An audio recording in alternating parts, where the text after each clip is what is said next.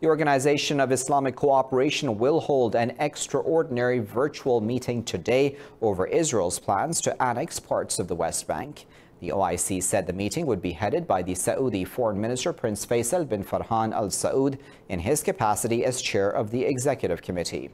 The organization said the ministerial level meeting will follow an open-ended format. Meanwhile, Palestine's Prime Minister Mohammed Shtayyeh says the takeover will kill any possibilities of peace with Israel. He said it will erode international consensus on a two-state solution. Shtayyeh said Palestine will declare its state based on the armistice lines from before the 1967 war.